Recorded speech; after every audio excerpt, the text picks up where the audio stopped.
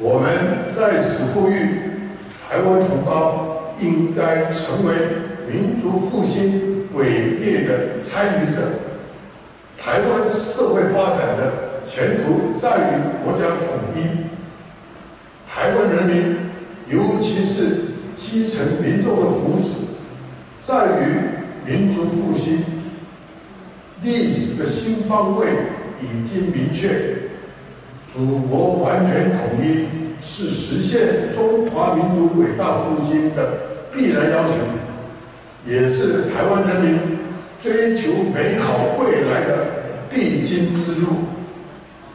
台湾广大的劳心劳力者，应该成为完成史下历史任务的中坚，站出来反对台独。